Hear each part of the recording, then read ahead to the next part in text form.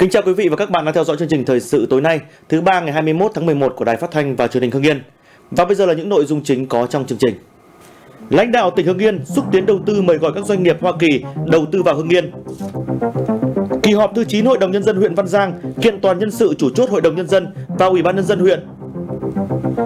Sẵn sàng khởi công đường song hành, dự án thành phần 2.2 đường vành đai 4. Tổ chức cuộc thi khởi nghiệp đổi mới sáng tạo tỉnh Hưng Yên năm 2024. Cân xử lý đối với cơ sở sản xuất gạch gây ô nhiễm môi trường tại xã Tống Phan, huyện Phù Cử.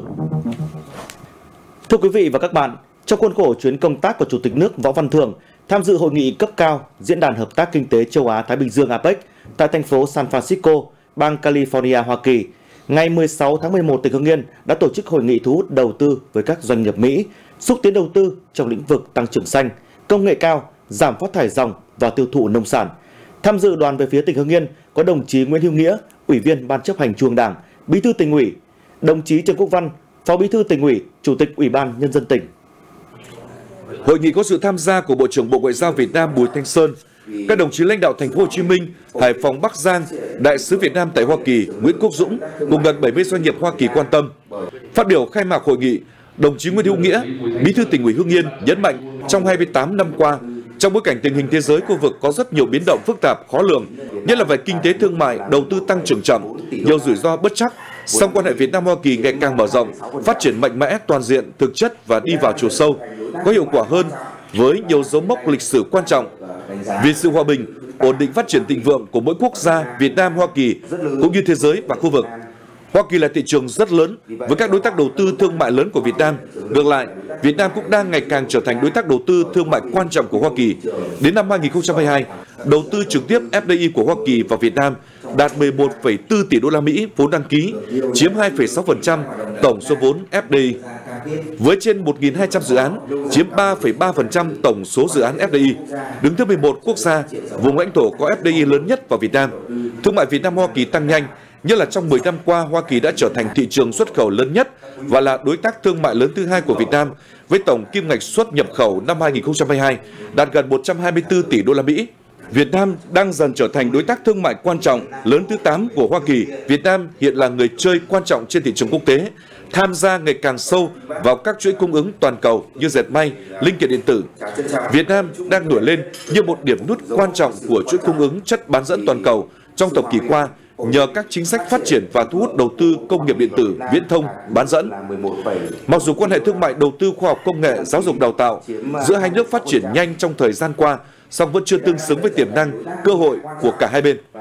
Đồng chí Bí thư tỉnh ủy khẳng định, Hoa Kỳ là thị trường đòi hỏi các tiêu chuẩn ngày càng cao, nhưng có tiềm năng xuất khẩu còn rất lớn cho các doanh nghiệp Việt Nam, đặc biệt trong ngành hàng nông sản dệt may da dày, đồ gỗ, sản phẩm, linh kiện điện tử. Vì vậy, các đối tác Việt Nam luôn phải nỗ lực học hỏi, đổi mới và theo kịp các nhu cầu và khẩu vị của doanh nghiệp, người tiêu dùng của Mỹ. Sự kiện Việt Nam Hoa Kỳ nâng cấp quan hệ hai nước lên đối tác chiến lược toàn diện thực sự là cú hích mạnh đối với các nhà đầu tư của Việt Nam và Hoa Kỳ, đưa hợp tác về kinh tế thương mại, đầu tư, khoa học công nghệ, đổi mới sáng tạo, giáo dục, đào tạo lên tầm cao mới trong thời gian tới. Quan hệ giữa hai quốc gia càng ngày càng trở nên phát triển, rộng mở trên các lĩnh vực, có lẽ chưa bao giờ tốt như hiện nay. Vì vậy, đây là cơ hội rất tốt để thúc đẩy các hoạt động hợp tác kinh tế, thương mại, đầu tư giữa hai quốc gia. Những lĩnh vực mà Hoa Kỳ có thế mạnh và Việt Nam đang mong muốn phát triển như năng lượng tái tạo, năng lượng sạch, tài chính ngân hàng, giáo dục đào tạo, công nghệ cao, nông nghiệp công nghệ cao, công nghiệp sáng tạo, công nghiệp ô tô, hàng không, viễn thông, kinh tế số, thương mại số, trang thiết bị y tế, sản xuất chip, sản phẩm Silicon Dusters, ứng dụng tự động hóa, ứng dụng AI, chuyển đổi số.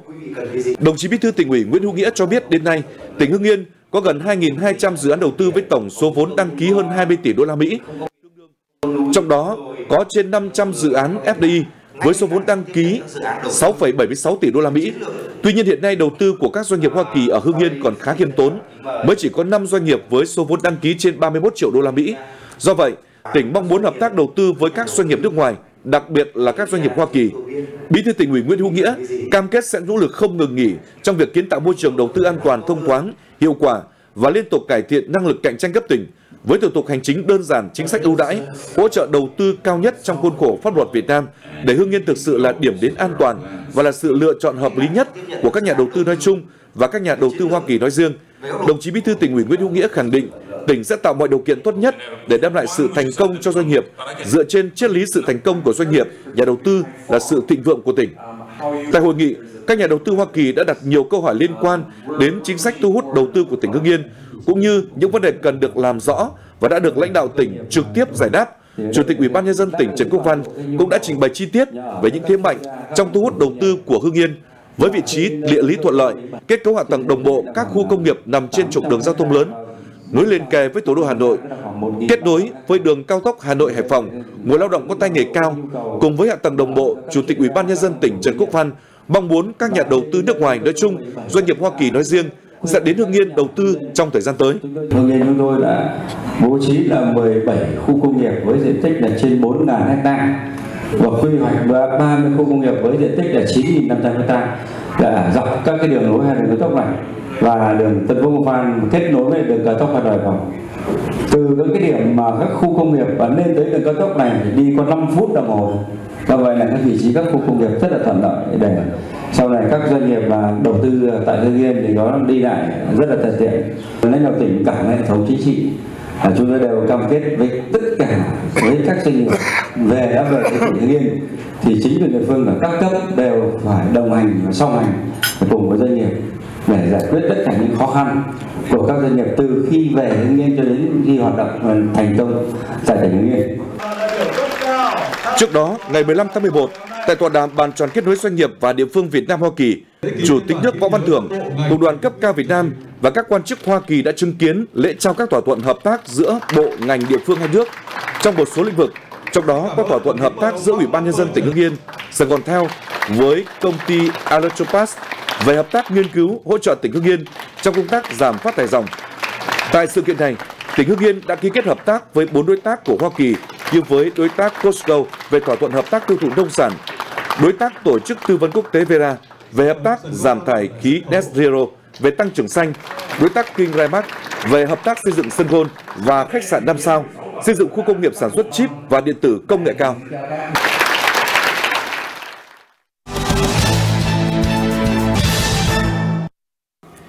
Sáng nay, Hội đồng Nhân dân huyện Văn Giang tổ chức kỳ họp thứ 9, kỳ họp chuyên đề để thảo luận quyết định một số nội dung. Dự kỳ họp có các đồng chí lãnh đạo Hội đồng Nhân dân và Ủy ban Nhân dân tỉnh. Lê Xuân Tiến, Ủy viên Ban Thường vụ tỉnh ủy, Phó Chủ tịch Thường trực Hội đồng Nhân dân tỉnh. Nguyễn Duy Hưng, Phó Chủ tịch Ủy ban Nhân dân tỉnh. Tham dự kỳ họp có đồng chí Lê Văn Hưng, Ủy viên Ban Thường vụ tỉnh ủy, Bí thư huyện ủy Văn Giang. Kỳ họp đã xem xét các tờ trình phê duyệt miễn nhiệm và bầu bổ sung ủy viên Ủy ban nhân dân huyện, miễn nhiệm Chủ tịch Ủy ban nhân dân huyện, Chủ tịch Hội đồng nhân dân huyện và các tờ trình giới thiệu nhân sự bầu Chủ tịch Hội đồng nhân dân huyện và Chủ tịch Ủy ban nhân dân huyện khóa 20, nhiệm kỳ 2021-2026. Kết quả tại kỳ họp, đồng chí Chu Quốc Hiệu, Phó Bí thư huyện ủy, Chủ tịch Ủy ban nhân dân huyện Văn Giang thôi giữ chức Chủ tịch Ủy ban nhân dân huyện, được bầu giữ chức vụ Chủ tịch Hội đồng nhân dân huyện khóa 20, nhiệm kỳ 2021-2026. Đồng chí Nguyễn Văn Tuấn, Phó Bí thư Thường trực huyện ủy, Chủ tịch Hội đồng nhân dân huyện, thôi giữ chức Chủ tịch Hội đồng nhân dân huyện, được bầu làm Chủ tịch Ủy ban nhân dân huyện Văn Giang khóa 20, nhiệm kỳ 2021-2026. Phát biểu tại kỳ họp, đồng chí Lê Xuân Tiến, Phó Chủ tịch Thường trực Hội đồng nhân dân tỉnh, chúc mừng hai đồng chí đã được Hội đồng nhân dân huyện bầu giữ cương vị mới. Đồng chí đề nghị với vai trò trọng trách công tác mới, các đồng chí không ngừng đề cao trách nhiệm, nỗ lực phấn đấu, hoàn thành nhiệm vụ được giao, cùng với tập thể lãnh đạo cấp ủy chính quyền huyện tập trung lãnh đạo chỉ đạo, quản lý điều hành, thực hiện đạt và vượt các chỉ tiêu mà nghị quyết huyện ủy, hội đồng nhân dân, ủy ban nhân dân huyện đề ra. Sáng nay tại trường Đại học Tài chính Quản trị Kinh doanh, Sở Khoa học và Công nghệ tổ chức hội nghị phổ biến kế hoạch tổ chức cuộc thi khởi nghiệp đổi mới sáng tạo tỉnh Hưng Yên năm 2024, đồng thời tập huấn kiến thức khởi nghiệp đổi mới sáng tạo. Cuộc thi khởi nghiệp đổi mới sáng tạo tỉnh gồm hai lĩnh vực dự thi là khởi nghiệp công nghệ và khởi nghiệp với mô hình kinh doanh đổi mới sáng tạo. Các cá nhân tổ chức doanh nghiệp khởi nghiệp đăng ký hoạt động không quá 5 năm. Tham dự cuộc thi sẽ trải qua hai vòng thi. Trong đó, tại vòng loại, các nhóm khởi nghiệp nộp hồ sơ dự thi từ ngày 15 tháng 12 năm 2023 đến hết ngày 19 tháng 3 năm 2024. Ban tổ chức sẽ lựa chọn những nhóm xuất sắc vào vòng trung khảo. Trong vòng này, các nhóm khởi nghiệp sẽ thể hiện dự án, sản phẩm trước hội đồng giám khảo. Ban tổ chức trao giải vào ngày 18 tháng 5 năm 2024. Các chuyên gia về khởi nghiệp đổi mới sáng tạo trao đổi chia sẻ cách thức để lựa chọn và phát triển con đường startup cho thế hệ trẻ, tầm nhìn, cơ hội và hành trình cho một startup khởi nghiệp thành công. Qua đó, giúp người tham gia có được các kiến thức kỹ năng và phương pháp cần thiết để chuyển đổi từ môi trường thực tế vào việc khởi nghiệp đổi mới sáng tạo, tạo ra những ý tưởng sáng tạo, biến chúng thành các sản phẩm hoặc dịch vụ thực tế và thành công trong việc khởi nghiệp. Đến nay, công tác chuẩn bị cho lễ khởi công gói thầu số 1, thi công xây dựng công trình dự án thành phần 2.2, xây dựng đường song hành, đường đô thị, địa phận tỉnh Hưng Yên vào sáng ngày mai, ngày 22 tháng 11 đã hoàn tất. Được biết dự án thành phần 2.2 xây dựng đường song hành địa phận tỉnh Hưng Yên được Sở Giao thông Vận tải lựa chọn nhà thầu thi công, xây dựng công trình từ ngày 25 tháng 10 năm 2023. Đơn vị trúng thầu xây lắp là công ty cổ phần Lizen. Đối với công tác giải ngân của dự án này, theo kế hoạch vốn trong năm 2023 là 200 tỷ đồng. Số vốn đã giải ngân đến nay là 136 tỷ đồng, đạt 68%. Dự kiến giải ngân đến hết ngày 31 tháng 12 năm 2023 sẽ hoàn thành giải ngân 100% kế hoạch vốn. Đối với phần giải phóng mặt bằng thuộc dự án thành phần 1.2 đường vành đai 4 qua Hưng Yên hiện đã được 193,6 trên 230,2 ha, đạt 84,1%. Đến nay, huyện Văn Lâm tiến hành kiểm đếm các diện tích đất thổ cư, tài sản trên đất để phục vụ công tác giải phóng mặt bằng cho đường vành đai 4 tại xã Lạc Hồng đạt 68%. Cụ thể đã tiến hành kiểm đếm đất đai, tài sản trên đất được 86 trên 128 hộ ở xã Lạc Hồng có đất thổ cư nằm trong phạm vi giải phóng mặt bằng cho đường vành đai 4. Hiện mỗi ngày có từ 3 đến 4 tổ công tác tiến hành việc kiểm đếm tại thực địa. Trong quá trình thực hiện, các tổ công tác thường xuyên kiên trì, tích cực tuyên truyền vận động giải thích cho nhân dân các cơ sở pháp lý về việc hướng tuyến đi vào khu dân cư, những cơ chế chính sách của nhà nước về bồi thường, hỗ trợ tái định cư, quy trình thực hiện công tác giải phóng mặt bằng. Nhiều hộ dân đã đồng thuận phối hợp thực hiện công tác kiểm đếm. Huyện Văn Lâm phấn đấu sớm hoàn thành công tác này để làm cơ sở cho việc lên phương án bồi thường, hỗ trợ tái định cư cụ thể cho từng hộ. Bên cạnh đó, huyện Văn Lâm cũng đang tiến hành thẩm định dự thảo phương án bồi thường, hỗ trợ đối với các diện tích đất nông nghiệp phải thu hồi để xây dựng 4 khu tái định cư ở xã Lạc Hồng và Lạc Đạo. Sáng nay, công ty cổ phần ô tô TMT Hưng Yên khai trương đại lý Guling Hưng Yên, một trong 21 đại lý Guling ủy quyền chính thức của TMT Moto, phân phối xe điện của liên doanh Mỹ Mini EV tại số 58 đường Nguyễn Văn Linh, phường An Tảo, thành phố Hưng Yên. Xe điện của liên doanh Mỹ Miniever là sản phẩm được nghiên cứu và phát triển bởi liên doanh SDMW, được giám sát chất lượng theo tiêu chuẩn của hãng sản xuất ô tô hàng đầu thế giới General Motors Mỹ tại Việt Nam sẽ được sản xuất lắp ráp chuyển giao công nghệ cho TNT Motors theo tiêu chuẩn của GM toàn cầu. Dòng xe có hai phiên bản tiêu chuẩn với mức giá từ 239 đến 279 triệu đồng. Mỗi bản có hai tùy chọn về dung lượng pin, tầm hoạt động 120 đến 170 km sau khi sạc đầy. Mini EV gây ấn tượng bởi kích thước nhỏ gọn, thiết kế thời trang, dễ lái, bán kính quay đầu thấp nên dễ dàng di chuyển trong đô thị, dễ dừng đỗ, sạc tiện lợi bằng nguồn điện dân dụng 220V, chi phí vận hành thấp, chính sách bảo dưỡng, bảo hành xe hàng đầu thị trường ô tô Việt Nam hiện nay. Đại lý Guling Hưng Yên được thiết lập đồng bộ với hệ thống đại lý Guling toàn quốc bao gồm khu trưng bày xe điện của liên doanh GM Mỹ, Hồng Giang, Mini Ever, khu xưởng dịch vụ, khu vực hỗ trợ tư vấn khách hàng. Khách hàng sẽ được trực tiếp tìm hiểu, khám phá nội thất, ngoại thất của xe, lái thử sản phẩm để có những trải nghiệm chân thực nhất về khả năng vận hành hệ thống an toàn của xe. Khu xưởng dịch vụ tại các đại lý được trang bị đầy đủ theo tiêu chuẩn của liên doanh SGMW, đầu tư trang thiết bị hiện đại như máy chẩn đoán lỗi giúp quá trình bảo dưỡng, sửa chữa diễn ra kịp thời, nhanh chóng. Sự có mặt của dòng xe điện liên danh Mỹ SDMW Medieval mang đến cho người tiêu dùng Việt Nam sản phẩm ô tô điện giá bình dân đáp ứng đầy đủ các tiêu chí như chi phí sử dụng thấp, vận hành bền bỉ, tiện ích, xe đầy đủ, đảm bảo an toàn, đồng thời góp phần vào xu hướng di chuyển xanh, bảo vệ môi trường. Nhằm khuyến khích người dân sử dụng dịch vụ công trực tuyến cấp độ 4 khi cần cấp đổi bằng lái xe ô tô, mô tô, từ đầu tháng 12 tới sẽ giảm mức thu lệ phí cấp giấy phép lái xe khi người dân thực hiện dịch vụ công trực tuyến theo quy định của Bộ Tài chính. Cụ thể, theo thông tư số 63-2023 của Bộ Tài chính, từ ngày 1 tháng 12 năm 2013 đến ngày 31 tháng 12 năm 2015, mức thu lệ phí đối với thủ tục cấp mới, cấp lại, cấp đổi giấy phép lái xe theo hình thức trực tuyến là 115.000 đồng một lần cấp, giảm 20.000 đồng một lần cấp so với mức thu hiện hành. Người dân có thể thực hiện tại nhà bằng cách chuẩn bị các giấy tờ theo quy định. Sau đó, truy cập vào trang web http 2 gạch chéo gạch chéo dịch vụ công gov vn hoặc trang http 2 gạch chéo gạch chéo dvc 4 gplx.gov.vn để thao tác trực tuyến và đăng ký nhận kết quả tại nhà qua đường bưu điện. Để thực hiện à, cấp đổi giấy phép à, xe trực tuyến thì người dân à, cần thực hiện các cái quy định sau là phải có ừ, tài khoản định danh VN mức độ 2. Sau đó người dân phải scan các cái ừ, giấy tờ kèm theo như là căn cước công dân, giấy khám sức khỏe, giấy phép lái xe của cá nhân nộp hồ sơ trực tuyến trên cổng dịch vụ công quốc gia và dịch vụ công của cục đường bộ. À, cùng với đó là cái ảnh theo quy định. Sau khoảng thời gian này, từ ngày 1 tháng 1 năm 2016, quay lại áp dụng mức thu lệ phí theo quy định tại thông tư số 37/2013 của Bộ Tài chính là 135.000 đồng một lần cấp.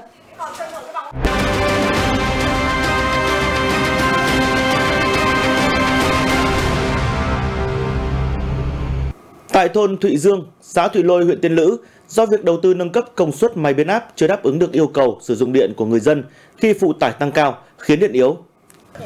Theo đó, máy biến áp có công suất 400 kVA của thôn hiện không chỉ cấp điện cho người dân trong thôn mà còn phải cấp một phần nguồn điện cho thôn Lệ Chi với tổng số 2 thôn là trên 700 hộ sử dụng điện. Thiếu công suất nên điện áp thiếu hụt, không đảm bảo đủ 220V. Do xu hướng phát triển của người dân đấy tham gia vào sản xuất kinh doanh và chăn nuôi ngày càng cao. Chính vì vậy cho nên là cái điện tiêu thụ cái trạm biến áp ba này là hiện nay chưa đảm bảo, đặc biệt với những tuyến xa dân cư cuối nguồn vào các giờ cao điểm. Việc cấp điện tại đây là do Hợp tác xã Dịch vụ Điện Thụy Lôi cung cấp. Đại diện Hợp tác xã cho biết việc chất lượng điện kém chủ yếu ở cuối nguồn và đối với các hộ ở cách xa trạm biến áp từ 500 đến 700 mét. Giờ cao điểm thì điện chỉ còn 170V đến 180V. Vì vậy hầu hết người dân phải dùng máy tăng áp mới đủ điện dùng. Vấn đề rất cần chính quyền và cơ quan liên quan của huyện Tiên Lữ sớm kiểm tra đôn đốc và xử lý với chủ thể kinh doanh điện theo đúng quy định của luật điện lực. Theo phản ánh của nhiều hộ dân sống tại khu dân cư số 4, thôn Cát Dương, xã Tống Phan, hơn một năm nay, ở giữa khu dân cư này tồn tại một cơ sở sản xuất gạch đá rộng hàng trăm mét vuông, thường xuyên hoạt động gây ô nhiễm môi trường, ô nhiễm tiếng ồn, ảnh hưởng đến cuộc sống sinh hoạt của người dân. Đã nhiều lần các hộ dân kiến nghị lên cấp chính quyền địa phương nhưng mọi việc vẫn không có chuyển biến, ghi nhận của phóng viên thời sự. Được biết cơ sở sản xuất gạch nung này của doanh nghiệp Thuận Phát, cơ sở này đã hoạt động ở đây hơn một năm nay. Dù cách cơ sở sản xuất gạch hơn 200 mét, nhưng gia đình anh Nguyễn Văn Chuyển sống tại đây cho biết để tránh bụi bẩn và tiếng ồn, ngày nào gia đình anh cũng phải cửa đóng then cài. Để đảm bảo an toàn cho các cháu nhỏ, hầu hết các gia đình không dám cho con em mình ra phía ngoài chơi bởi số lượng xe tải ra vào cơ sở này rất nhiều. Cái cơ sở sản xuất đây nó ảnh hưởng cũng rất nhiều. Thứ nhất là về bụi bặm và thứ hai là về cái chuyện là xe cộ. Cái tần suất sản xuất thì thường thường nó rơi vào từ nếu mùa hè nó từ 1 giờ đêm đến 7 8 giờ sáng. Cái xe sáu cảng ấy, 6 chân ấy mà nó trở lặng như thế nó vào đây là nó phá đường dân sinh của chúng tôi mà nó đã hỏng đường dân sinh của chúng tôi thì không có ai vào đi sửa chúng tôi cả. Theo quan sát, bãi sản xuất gạch mà người dân phản ánh có diện tích khoảng 500 mét vuông. Tại thời điểm ghi nhận, cơ sở này vẫn đang hoạt động. Ngoài việc lấn chiếm hành lang đường để xếp gạch, cơ sở này còn lấn chiếm vỉa hè để đổ nguyên vật liệu phục vụ sản xuất. Bụi của đá, cát, xi măng, bao phủ và tiếng ồn của máy khiến cuộc sống các hộ dân xung quanh bị ảnh hưởng nghiêm trọng hầu như là đều phải đóng kín cửa hết. Tại vì tôi nói bụi lắm. Có ý kiến lên xã rồi, nhưng mà cứ lờ đi thế nào đất là bán cho dân để ở, chứ không phải đất là bán cho dân, đã bán cho các doanh nghiệp để sản xuất, ảnh hưởng nhất về bụi bậm. Thứ hai là về tiếng ồn, ảnh hưởng đến trực tiếp đến đời sống dân cư đây. Và trực tiếp những người có những lô đất ở gần đây, là họ có đất không không dám xây nhà. Nói chung là họ sản xuất đây không theo một cái giờ nào cả. Ngày đêm là gần như là cứ dỗi lúc nào họ làm lúc bây giờ có việc là họ làm Khu đất mà doanh nghiệp Thuận Phát hiện đang làm xưởng sản xuất gạch là của gia đình ông Trần Văn Dầu. Ngoài việc tận dụng đất của gia đình, ông Dầu còn thuê lại mặt bằng của một số hộ dân liền kề để mở rộng quy mô. Nhiều lần Ủy ban nhân dân xã Tống Phan nhận được phản ánh của nhân dân nhưng chưa có biện pháp xử lý mà mới chỉ dừng lại ở việc đôn đốc nhắc nhở của anh Trần Văn Dầu tại khu dân cư số 4 thuộc địa bàn thôn Cát Dương sản xuất tại đấy là sai quy định. Thực tế thì có gây ra tiếng ồn bởi vì các cái máy vận chuyển vật liệu nó hoạt động liên tục, vi phạm vào cái giờ nghỉ của bà con nữa. Cái thứ hai nữa là một số các cái vật liệu như là gạch ép bê tông ấy thì xếp cao quá mức quy định, nó gây nguy hiểm cho bà con ở khu dân cư. Phản ánh của người dân ở đây là hoàn toàn có cơ sở bởi để cho doanh nghiệp thuận phát bất chấp các quy định ngang nhiên hoạt động là do sự thiếu cương quyết của ủy ban dân xã Tống Phan đã làm cho nhiều người dân khu dân cư số 4 hàng ngày phải sống chung với ô nhiễm. Quý vị và các bạn thân mến, chương trình thời sự xin được kết thúc tại đây. Cảm ơn quý vị và các bạn đã quan tâm theo dõi. Xin kính chào và hẹn gặp lại.